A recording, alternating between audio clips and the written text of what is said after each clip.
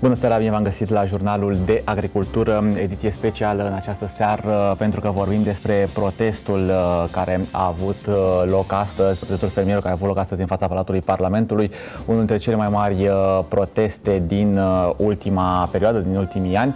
Tocmai de aceea i-am invitat în această seară pe principalii actori implicați în evenimentele de astăzi.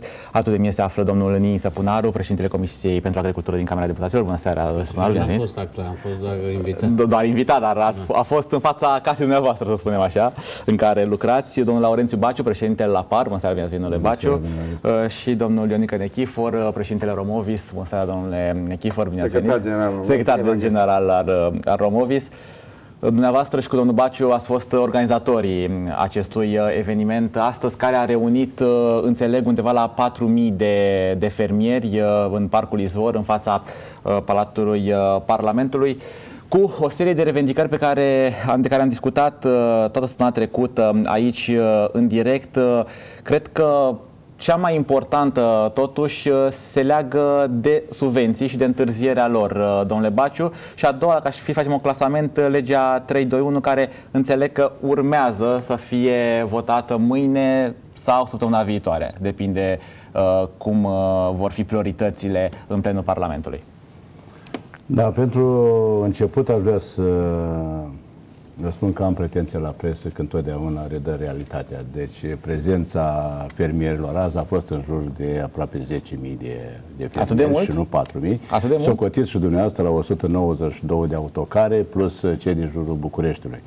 E adevărat, am văzut și eu în presă că fiecare au... Da, asta e cifra care a apărut au în dat presă, la da. 1000, la 2000, probabil mă rog, uh, unii stau mai bine sau mai puțin uh, cu matematica, dar nu asta are importanță. Importanța are mesajul pe care am vrut să-l transmitem uh, instituțiilor statului. E un proces care a strâns atât zootehnie cât și vegetal. Exact, pentru că sunt uh, interese comune, erau subiecte comune, atât pentru, adică pentru toată agricultura, nu numai, îmi pare rău că n-au fost uh, implicați și celelalte ramuri, cum ar fi mirea de albină sau uh, creșterea porcilor, a păsărilor, pentru că când vorbești de legea 321, uh, e valabilă pentru toți, toți sunt interesați, uh, toți au uh, un minus în businessul lor faptul că această lege încă nu este funcțională și nu ies așa cum își doresc producătorii români.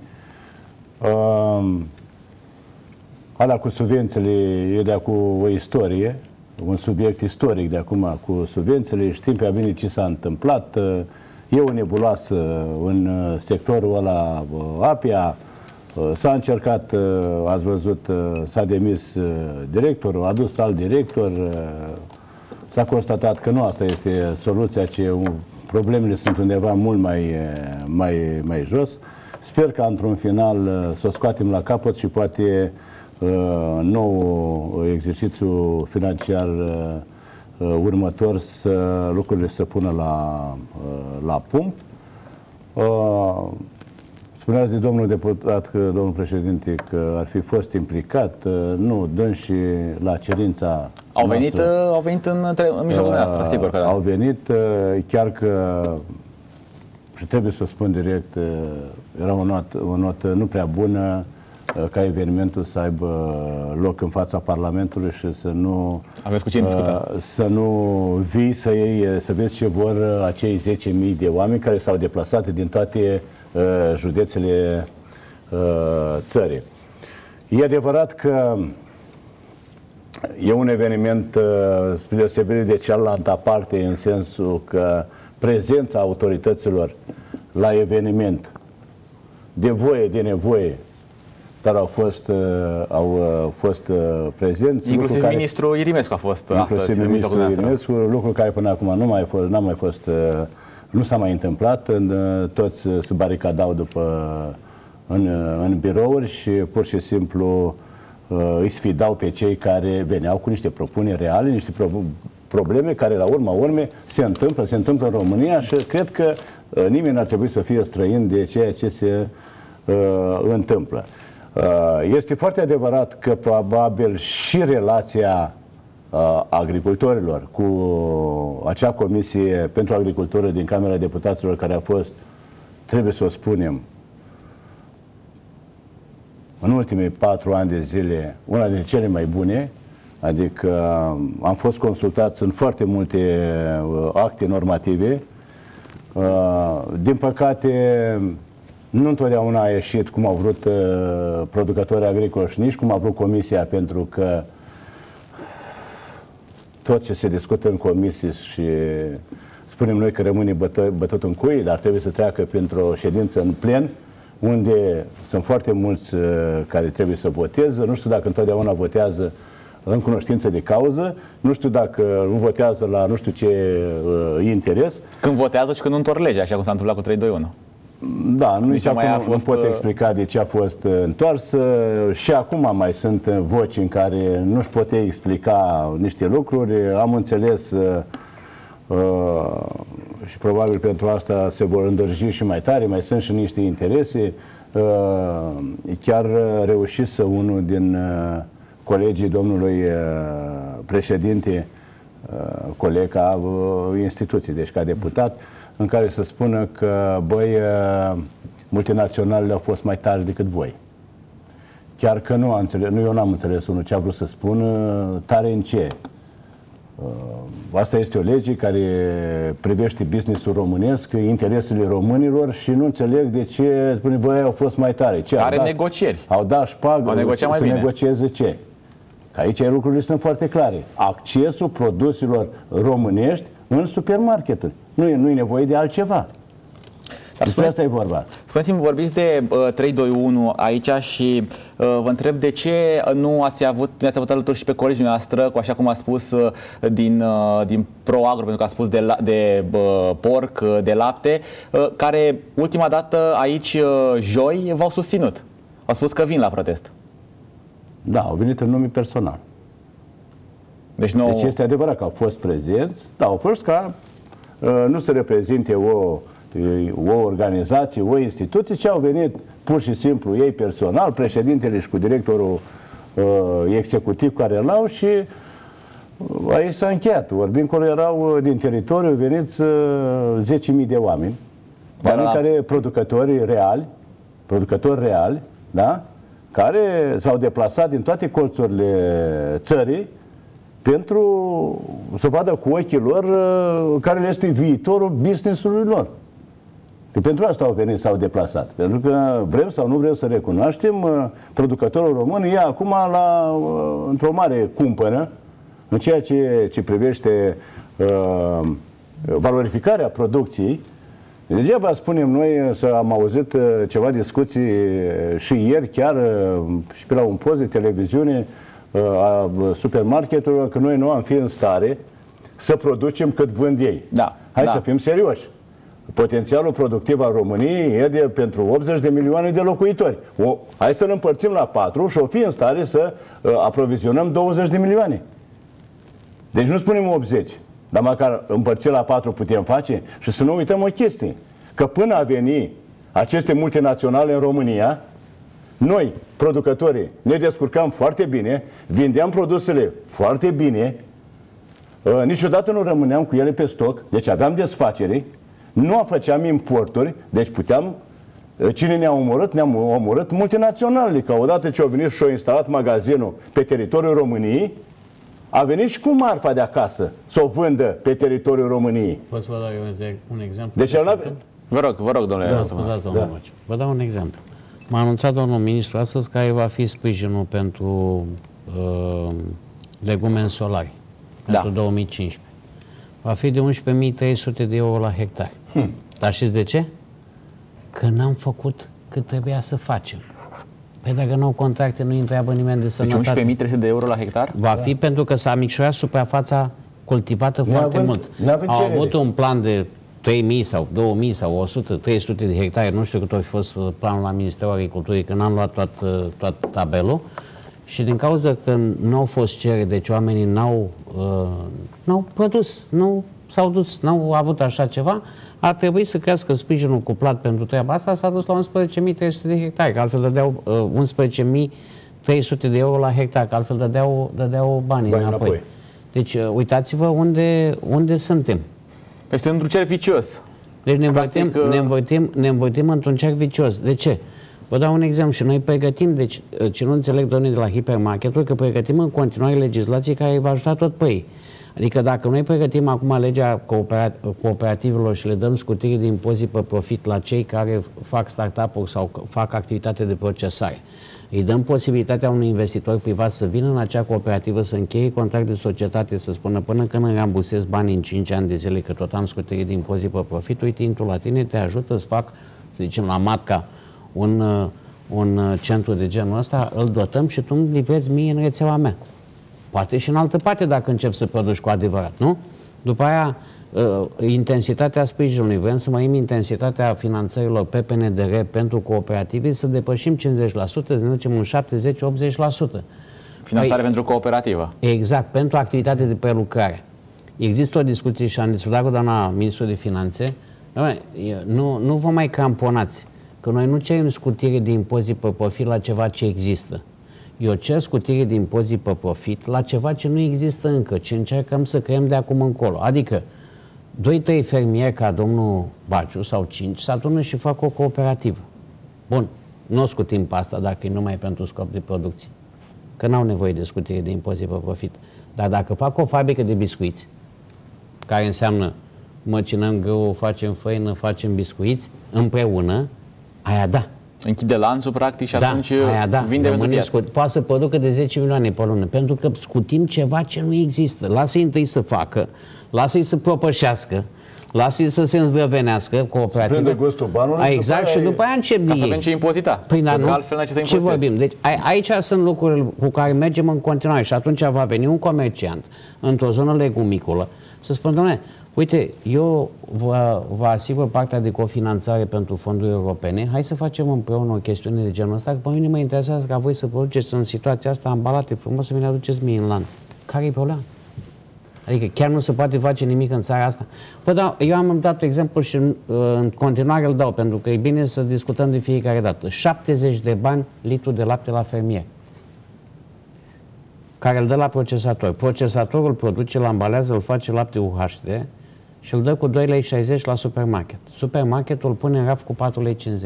Dar îi dă înapoi procesatorului doar 1,60 lei că îi, uh, îi ia pe taxe de raf 40% din valoarea produsului. La tot, și la iaurt, și la chefir, dar vorbim de lapte.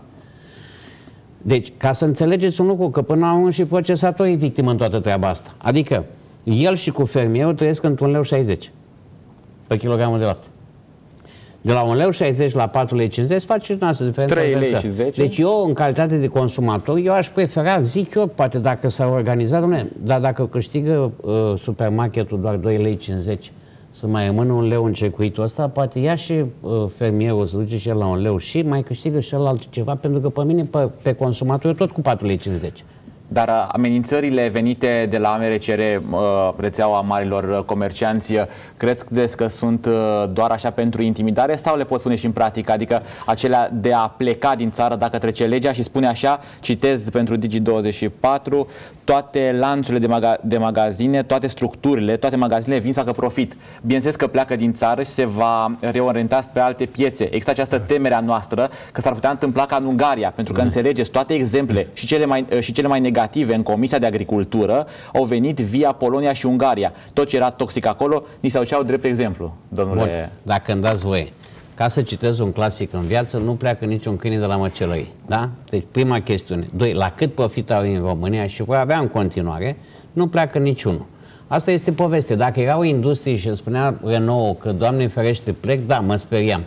Dacă îmi vine și îmi spune un comerciant care nu produce nimic aici, ci doar pur și simplu revinde uh, ce produc alții, că ce producem noi nu mai vinde sau vinde foarte puțin, asta este poveste de adormit copii. Nu, pleacă, intimidare. nu exact. pleacă nimeni nu pleacă nimeni. Singura lor problemă e, și singura noastră problemă, și să știți că e problema întregii națiuni, este că datorită acestui preț de listă au mărit prețul la produsele agro agroalimentare cu peste 50%. Și să știți că dezastru e și mai mare la industriale.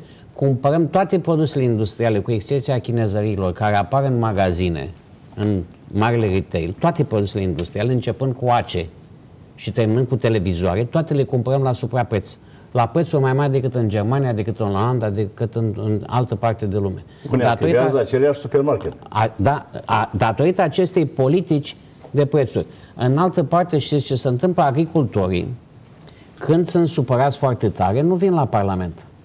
Se duc în poartă la supermarket.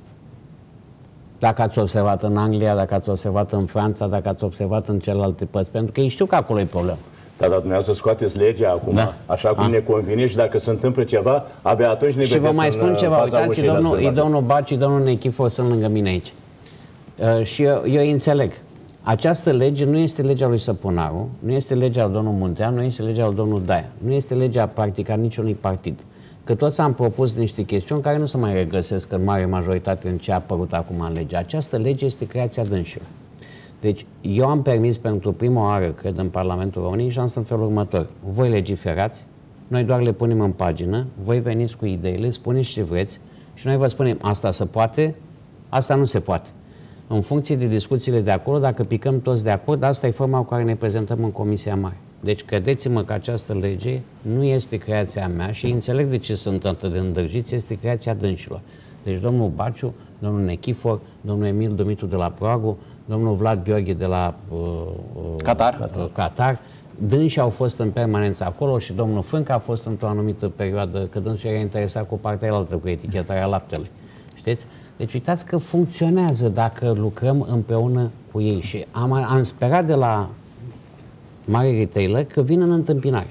Au avut un singur amendament, că au făcut și eu un amendament. Știți care e ăla? Să fie abrogată. Să fie abrogată. Să fie abrogată. Și există, să știți că acel amendament l-am pus în, în textul care va fi votat la, și l-a, uh, l-a luat un coleg deputat. Domnul Scarlat, înțeleg da, că l-a susținut și, și a picat la vot. Și a, l-a susținut și l-a picat la vot și el există acum în lista de vot în plenul Parlamentului. Eu vreau și eu să văd ce coleg al nostru poate să voteze abrogarea legii 3.2. Dar înțeleg că acest, uh, acest protest, de exemplu, vizând 3.2, nu a fost împotriva Comisiei Agricultură, ci împotriva plenului. De ce se te răgănează atât de mult? Uh, de ce acest dute vino cu legea uh, și iată acum o tragere de timp? Pentru că altfel oamenii nu aveau ce să vină în fața Parlamentului, că să negociaste, să discutați, să votați totul. Deci eu, eu vă spun că toți colegii deputați din Comisia de Agricultură au votat acest proiect de lege. Mai departe, cum s-a întors, rămâne de văzut ce se va întâmpla. Că nu... Dar e din nou când, în plen. Să, când o să fie în plen, vă promitem când vom fi prezenți acolo să vedem ce deputat român este contra acestei legi, ca să vedem și noi interesele cărui țări le servește dumnealui. Nu mai puteți să intrați, că știu că domnul Nechifor a Nu o să intrăm, nu, azi am fost uh, civilizați. Păi că, a fost protest, așa cum am spus, la balcon. Când plecam de acasă, toți cei care eram de acolo avem o anumită educație, venim din mediul rural și când plecam de acasă, ă, de fiecare dată mama ne spunea să dai bună ziua la oameni, să nu te bați, să nu furi, lucruri de genul ăsta. Da? De aia ne-am comportat azi așa. Și când am spus să nu ne bați, era valabil și pentru acei jandarmi care ne, ă, ne păzeau și ați văzut ce dotați erau ca și cum veneau rușii și nici de cum uh, niște agricultori Aveau uh, exemplu oierilor din iarnă. Erau foarte bine dotați, chiar aveai uh, impresia treceam dimineață pe lângă ei, pe lângă ei, era ceva de groază acolo, nu știu la ce se așteptau ei. Noi n-am venit la lupte de stradă, n-am venit să ne baci, să... Noi am venit să uh, sensibilizăm instituțiile statului, în special Parlamentul României, să ia act, să dea o lege care să fie pentru români și în interesul românilor, pentru că îmi spuneați de amenințări, dar chiar vă rog să mă credeți, eu chiar aș vrea să plece. Dar știți de ce? Pentru că atât de bine ce îmi vindeam marfa înainte de a veni aceste supermarketuri, eu personal eram cultivator de cartofi și livram până în luna, nu mă prindea 1 decembrie, 7-8 mii de tone de cartofi. Avea desfacere în România. Acum, mai cultiv așa, ca să nu uit cultura, un hectar. Ce vreți să-mi spuneți? Dar, dar știți că industria alimentară spune că sunt dependenți de ei în acest moment, că Dragul acoperă meu, 60% din piață. Ascultați-mă un pic. Noi, agricultorii, cei care am produs și înainte de 89 și nu a murit nimeni de foame și am produs și după până ce au venit acești oameni care au distrus rețeaua de magazini care se instalează în România și acolo unde noi, și erau autoctoni, unde noi ne desfăceam marfa, da? Ei au venit în România cu uh, magazinul respectiv, n-a venit să facă numai business, a venit să-și vândă produsele din țara de origine. Asta e. Iar în noi, cum vă explicați dumneavoastră, că e la mintea oricui, Noi care nu putem acoperi necesarul de carne de porc, prin crescătoriile care le da. avem. Da. Am înțeles de la procesatori că jur de vă 30, 40%. Nu, cam 50, 45%, mă rog, cam așa. Cum vreți dumneavoastră, 60. Cum vă explicați că de, dacă nu producem, înseamnă că nu e marfă suficientă, da? Crescătorii de, de porc intră în faliment, intră în faliment când piața este atât de, de mare. Cum vă explicați? Păi, Simplu. Păi. Și trebuie, să, și trebuie să, să recunoaștem lucrul ăsta și să spunem odată lucruri pe nume. Pentru că vin produse de afară care nu numai că au calități ciudate, ca să nu spun îndoielnice, și prețurile sunt la fel. Pentru că dacă ne raportăm la un raport al Comisiei Europene din luna februarie, nu poți să înțelegi de ce uh, carnea în carcasă, carcasă de vită, e 3,8 euro pe kilogram în Uniunea Europeană, carne care se vinde pe piața europeană, mai puțin România, la raft, la terjghea, la uh, 8-10 euro kilogramul, în România o găsiți la raft cu 3 euro. Nu vă dați seama care este calitatea, pentru că inputurile la nivel de, uh, de Europa s-au cam uniformizat. Cât mă costă pe mine kilogramul de carne de porc, îl costă și pe olandez, și pe francez și așa mai departe. Nu vă dați seama că ceva nu e în regulă? De ce să fie supărați? Dacă eu, știți ceva? Eu chiar am vrut să, ne, să stăm de vorbă. De și până acum nu am avut timp de noi. Dar dacă așa pun problema, chiar că vreau să pleci, ne, ne desfacem marfa mult mai ușor și, să, și uh, devenim și, și mai independenți, chiar că nu avem nevoie. V-am zis, 25% din potențial, dacă producem, să mănâncă foarte bine în România. Și deci, sănătos. Și sănătos. Comercianții, comercianții români aduc mai, aduc mai mult impozit pe profit la bugetul statului decât comercianții străini și ei nu mai ocupă decât 40% din piață. Da, este, este un raport al uh, Lucia, da?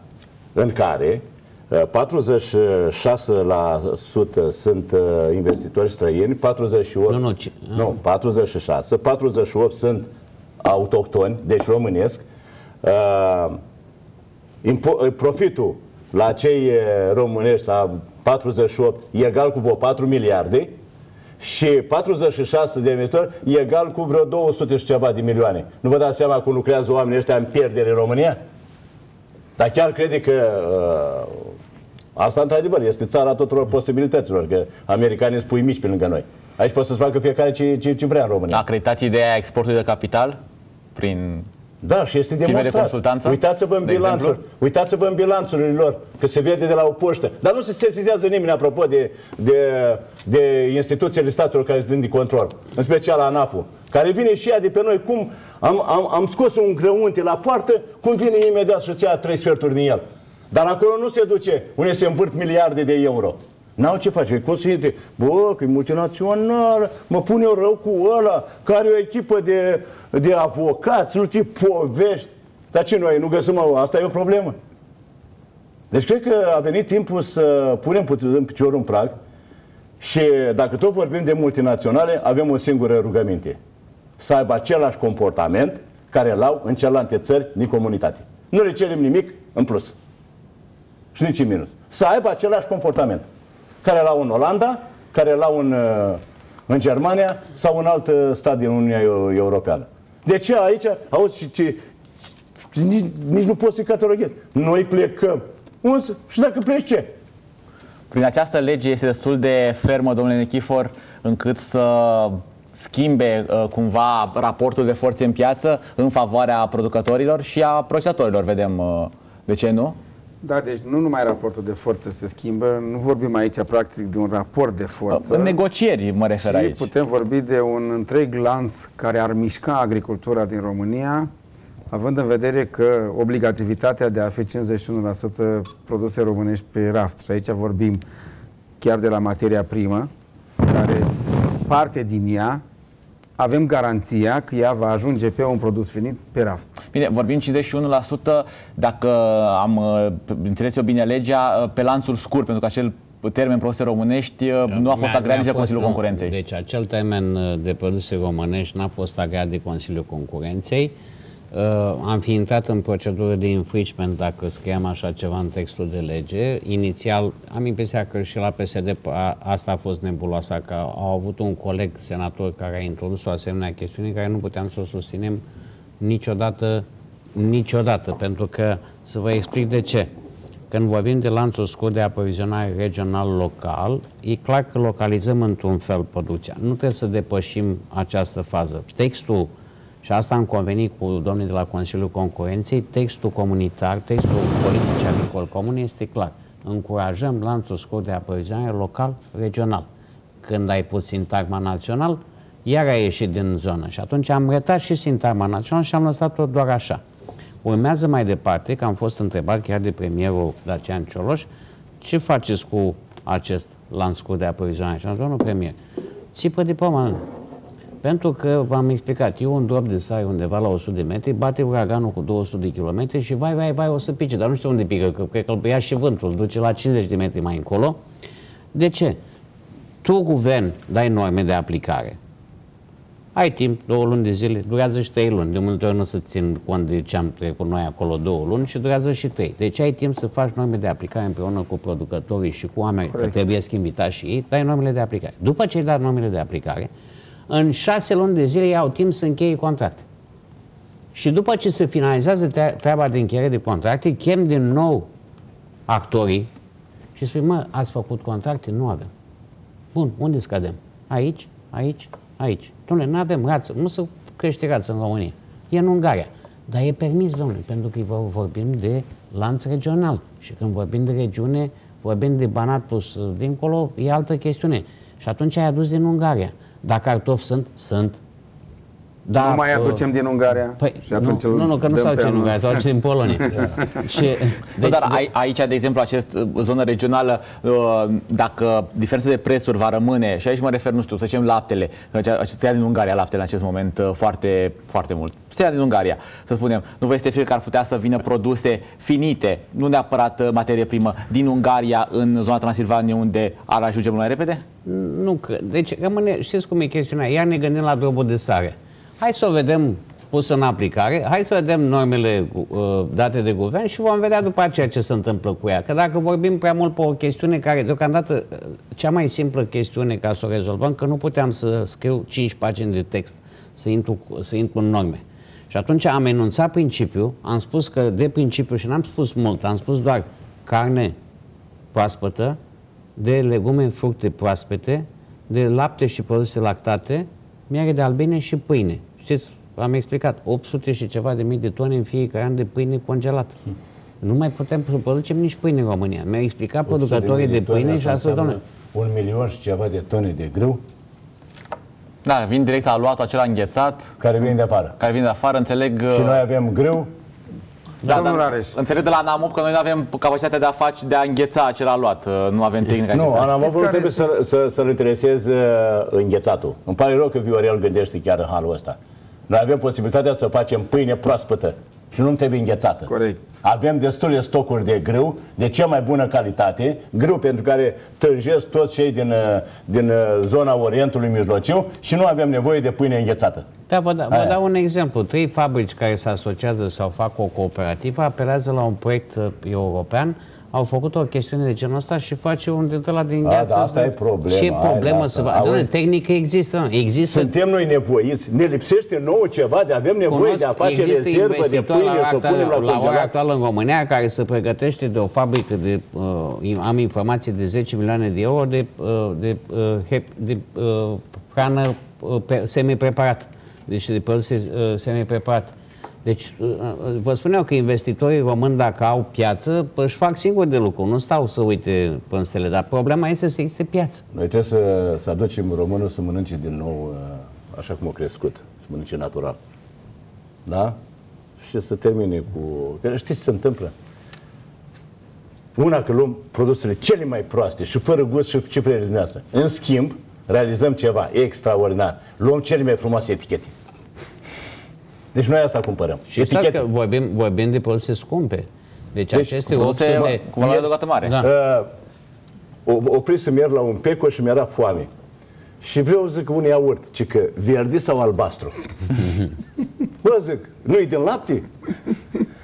Ce e aia? Zic, verde sau albastru? Băi, oameni băi, Trebuie dată să, să, să terminăm cu, cu, cu, cu toate chestiile astea așa care uh, practic ne fac de marketing. Da. Nu vedeți că nu mai știu să mănânce oameni? Domnul Areș, Domnule Chifă. faptul că această lege, așa cum spunea domnul președinte, este a noastră. Am discutat-o, am dezbătut-o, am trecut-o de comisii. Nu ne rămâne decât să o ducem și să fie votată în plen. Este primul punct care îl vrem astăzi. După ce va fi votată în plen, sigur că începem și noi, organizațiile, să ne mișcăm conform legii. Facem normele, le dezbatem, avem tot timpul, așa cum spunea și domnul președinte, după ce iese normele, încă șase luni de zile să ne organizăm. Cred că asta este procedura, să le luăm pe etape, să le rezolvăm și o să vedeți că în final o să fie bine. Și pentru noi și pentru procesatorii români, atenție, pentru ei, pentru că am avut discuții cu acești procesatori și ei ne-au susținut în chestiunea asta și ne-au, și-au dorit și ei și îți doresc în continuare ca produsele acestea să ajungă în supermarketuri și mi-a tras atenția într-un singur lucru. Și mi-a spus așa, domnule Chifăr, duceți-vă la produsele mele pe raft în supermarket și o să vedeți că ceea ce arată prețul pe raft este la preț dublu decât îl dau eu. Da. Deci asta da. este, este punctul de vedere a procesatorilor. Și atunci, cum considerați dumneavoastră că noi putem sta liniștiți acasă, să nu creăm o lege în care să beneficieze și producătorul român, și procesatorul român, și lăsați-l, domnule, și pe cel din supermarket să trăiască și el, dar nu cum trăiește acum.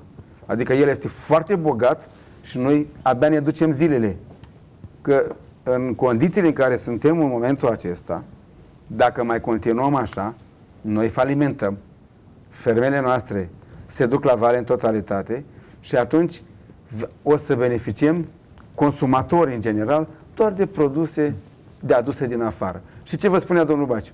De proastă calitate. Haideți să vă dau un exemplu. Umbla cei de la, umblau cei de la Consiliul Concurenței mai acum o lună de zile. Au un interes. Nu, nu, nu. Eu când am făcut o sesizare cu erau, comerțul erau cu cereale, nu s-au, nu s-au grăbit așa. Avem un proiect După două ani mi-a dat Dar nu știm cine ne-a făcut pustiul ăsta de bine, că cineva obligă supermarketurile să ne dea prețurile pentru uh, uh, listing-ul prețurilor. Vor să facă un catalog al prețurilor în România și în Grecia s-a aplicat acest, uh, acest list Prețul de achiziție? De, nu, prețurile de vânzare din supermarket. A, de vânzare, deci la raft, prețul la raft. Și în Grecia s-a făcut acest, uh, acest program și s-a pus pe net și au scăzut prețurile cu 15%. În condiții de criză atunci când era Grecia la pământ, au făcut treaba asta. Și uh, supermarketul refuză cu obstinație să predea aceste prețuri ca să le pună într-un program Consiliul Concurenței ca să vedem și noi cu cât vând supermarketul în România. Și când am văzut că spuneau treaba asta, doi colegi de-ai noștri am făcut repede un proiect de lege, sunt trei colegi deputați, nu eu, i-am rugat, băgați-o voi, că noi am făcut atâtea proiecte de lege de ne-am săturat și am întors proiectul de lege undeva pe circuit, dar nu mai ajunge la Comisia de Agricultură, a ajuns la Comisia de Industrie. Încercăm să-i facem, dacă ei nu vor, deci nu, de ce în Grecia s-a putut și au scăzut prețurile în supermarket cu 15%? Domnul Hăreș, deci vă asigur că în momentul în care intră această lege în funcțiune, prețurile în România în sectorul agroalimentar scad cu cel puțin 10%. Vă asigur de treaba După asta. intrarea 321 în vigoare. Da, pentru Corect. că în momentul ăla, în momentul ăla nu mai ține obligați, uh, există o obligație nescrisă, ei nu o să recunoască niciodată treaba asta. Dar gândiți-vă că la mine acolo, în birou și la Parlament, vin și tot vin. Și vin și plâng la noi și n-au curaj să iasă dincolo. Căci că cum am ieșit, cum a de lista m-a scos din magazin. Da. Și atunci, uh, și atunci vine și îmi spune ce se întâmplă în realitate. Deci la, la uh, preparate din carne 40%. La lapte este 40%. La uh, acest comision pe care da, le... Da, marginal de profit, mai la, nu, nu, nu, nu, nu, nu, nu, nu, nu, nu, stați doamne să ne înțelegem. Deci îi, îi dă lui ăsta un leu 60 și el vinde cu 4 lei 50. Ah, okay. Deci din cât vine, deci vine cu o ruda de salam de la 10 lei și dă 60 de lei, 6 lei înapoi. Dar el o vinde pe aia cu 15 sau pe 20, nu știu. Deci ca să ne înțelegem uh, la ce vorbim. Ei, toată chestiunea asta este gândită în așa fel încât prețul ăla de listare, deci când ți-am dat un preț de listare, nu mai am voie să vând în piață decât cu 10 lei. Salamul, kilogramul de salam. Nu mai pot să-l vând cu, cu cu 6 lei cu cât, uh, cu cât îmi dai tu înapoi. Or, legea ce spune? Doamne, cât trăiește un comerciant? Trăi cu 6 lei și mai vorbește de termene de plată la produse proaspete. Toți comercianții români, ca să supraviețuiască, câți mai sunt ei? Vorbesc de ăștia care sunt mai mărișori, de 12 milioane de euro, cifră de afaceri și așa mai departe. Avem unii care au 100 de magazine. Toți acești comercianți români, practică, ca să poată să reziste, fac următorul lucru. Negociază cu producătorul mic de salam sau cu cel mare sau cu produsele proaspete și spune îmi aduci cremvuști, ți plătesc zilnic îmi faci livrări zilnice ca să am, uh, ca să am zilnic cremvuși proaspeți în uh, Proaspeți magazine corect. și îți plătesc zilnic. Și atunci normal că are un preț mai bun de la comerciantul respectiv, dar repet, nu ia de la comercianți care vând în Kaufland, că ea săraci sunt obligați să vină cu prețul foarte sus. Și iau de la micii comercianți. Deci producătorii români plătesc la 2-3 zile produsele proaspete, plătesc la uh, 4-5 zile, maxim o săptămână, celelalte produse agroalimentare și chiar și la industriale plătesc în timp. Știți uh, în, în cât timp plătesc domnii la supermarketul? Deci tu livrezi în fiecare zi și îți plătește la 45 de zile. Dar mafia l-a vândut-o. Normal. Vorbeam de magazine. Au distrus prima dată rețeaua de magazine românești da. prin metodele care le-au folosit la început. Și acum, toată marfa românească o vedeți cu magazinul în șanț. Deci acolo e produsul românesc. Pe mare cred că ați circulat prin, prin țară, pe fiecare șanț, vezi legume și fructe. Cei care vând la poartă. Iar uh, produsele alea, știm prea bine, obținute cu stimulatori de creștere, cu nu știu ce doze de îngrășământ, stau frumos în raft, arată bine, sunt colorate frumos, mai au și o punguliță frumoasă. Nu se strică. Și când nu se strică, păi dar n-ați văzut, ei o roșie din aia, nu mai sunt buni cuțitele. Deci nu poți să o tai. Trebuie de acum să umbli să-ți găsești un cuțit care să poată să tai roșia. Trebuie să descoperi cuțite speciale pentru uh, tăiat roșia de afară. Și găsim tot în supermarket. și tot în supermarket. Vin cu tot, vin la, la ceramice, așa. Da. Păi nu se poate așa ceva. Dar știți că și acum se spune că și cele care se vând pe marginea șanțului sunt, ar fi tot din porc cumpălate și că foarte puțin sunt producători deci, autohtoni. Nu, nu, nu este. Acum, haideți, sunt zone Uh, care noi le știm. Da, uh, normal. Bine, le, nu, nu bazinele, nu bazinele Bun, și acolo, le, vezi, aici... acolo le vezi pe, da. pe, pe șanțuri. În zonele legumicule. Luați, uh, dacă eu spre, spre Bacău, luați movilița, Matca. Matca e ceva mai încolo, da. dar mai, mai sunt la intrare în Buzău. E lângă noi de asta, e lângă da.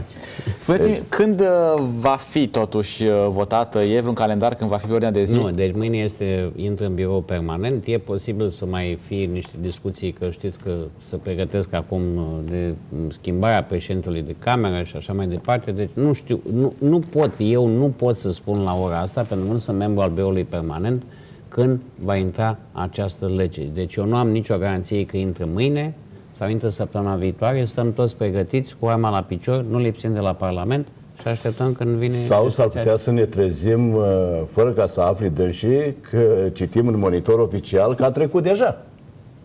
Au mai trecut și altele. Deși e posibil să treacă și asta. Da. Interesele sunt prea mari. Așa cum spunea acel uh, deputat. Aia au fost mai tari ca voi. Știa omul ceva. Da, să treacă în forma în care vreau să punctez, da. Vreau să punctez câteva lucruri vis-a-vis -vis de protestul de astăzi. Da, și vreau să vă întreb și de legea vânătorii. Pentru că Corect. aici ați... Uh, uh, să știți că astăzi am avut un protest total diferit de cum a fost protestul nostru, altă dată a oierilor și asta ne-a demonstrat faptul că împreună cu la par, asta nu înseamnă că în condițiile care noi am protestat civilizat am fost mai puțini ca în decembrie. Da? Deci, practic, am demonstrat și asta ne-a arătat-o domnul președinte și chiar ne-a și impus-o la un moment dat așa, să dăm dovadă de civilizație, pentru că într-o societate trebuie să arătăm că putem demonstra și mesajele noastre să ajungă acolo unde trebuie. Trebuie să recunosc că și mișcarea făcută, surpriză a domnului ministru și a parlamentarilor prezenți acolo, ne-a determinat să stăm liniștiți într-un fel ca... Nu mai aveam obiectul. Nu mai aveam motive să trecem uh, dincolo de stradă. Uh, în ciuda tuturor acestor chestiuni care noi știm, durerea noastră, una din durerile noastre este că nu ne-am luat subvențiile încă Dar aia nu ținea de Parlament în mod neapărat. Era nu, dar faptul că am cerut în mod expres atât Ministrul Agriculturii cât și membrii Comisiei din uh, Camera Deputaților, Comisia pe Agricultură, să vină acolo, pentru că am încercat să schimbăm un pic lucrurile, să nu mai mergem noi în, uh, în birourile dânșilor. Să vină dânșii acolo, să aibă curajul să stea de vorbă direct cu fermierii și nu doar cu un grup sau cu liderii, să stea de vorbă direct cu fermierii. Trebuie să recunosc că surpriza aceasta i-a mai domolit și asta a arătat intenția bună a oamenilor care au fost acolo. Asta nu înseamnă că supărarea noastră ne-a trecut. Vreau să uh, le spun tuturor, pentru că asta a fost și strategia noastră, să fim astăzi civilizați, dar în condițiile în care legea 321 nu va fi votată, să nu va cred... fi votată cum trebuie. Cum Ea trebuie. Votată va fi. Deci nu va fi așa cum ea este trimisă de către Comisia pe Agricultură cu acordul nostru, corect, cu da. acordul nostru, uh, nu vom sta cu mâinile în sân. Și vom trece la, să spunem așa, etapa a doua și ne vom organiza în teritoriu și nu este exclus să blocăm chiar supermarketurile. Deci, uh, prin fermier, protest? Prin protest, categoric. Deci adică să Protestați deci, în fața lor. La nivelul e. fiecărui județ suntem gata, deci suntem pregătiți să ne uh, mobilizăm în așa fel încât uh, să nu lăsăm lucrurile la voia întâmplării. Astăzi a fost un început. Astăzi am transmis un mesaj. Iar uh, ce va urma, cu siguranță dumneavoastră o să urmăriți, pentru că noi vom urmări legea. Un al doilea motiv pentru care astăzi am fost civilizați și am venit să transmitem un mesaj. Ionică, civilizația, a spus la început, așa a primit educația de acasă. Corect, corect. Da, că noi Dar supărările am noastre știți câteodată ne mai scot din Am stat șapte ani pe acasă. Așa este. Și s-a ceva de noi, da. S-a dovedit faptul că fermierii pot să dea dovadă de uh, bun simț, de educație și civilizație. Uh, vreau să vă spun că unul din obiectivele noastre care le avem în uh, etapa următoare și am transmis acest mesaj către Parlament și către Ministerul Agriculturii, către Ministerul Finanțelor, către Autoritatea Sanitar Veterinară. Noi ne apropiem de 30 august. Parlamentare, sigur, intră în, uh, în, în vacanță parlamentară. Spuneați dumneavoastră de legea vânătorii.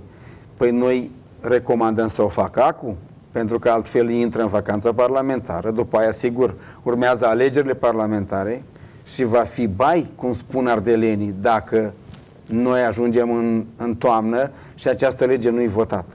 Pentru că le vom lua la pachet, să Această știți. lege unde s-a împotmolit? S-a împotmolit, uh, s-a împotmolit în următoarea uh, considerație. Ministerul Mediului are o opinie, Ministerul Agriculturii, care nu-i parte, să știți. Deci știți care e chestiunea aici, e o problemă. Toți agricultorii supărați pe viață, pe chestiunea asta și ciobanii în special, dar de fapt sediul materiei nu e la Ministerul Agriculturii. Sediul materiei, că legea vânătorii ține de Ministerul Mediului, e la Ministerul Mediului, nu e la Ministerul Agriculturii. Și atunci ei săraci prin obișnuință vin și plâng la Ministerul Agriculturii, dar Ministerul Agriculturii nu are ce să facă.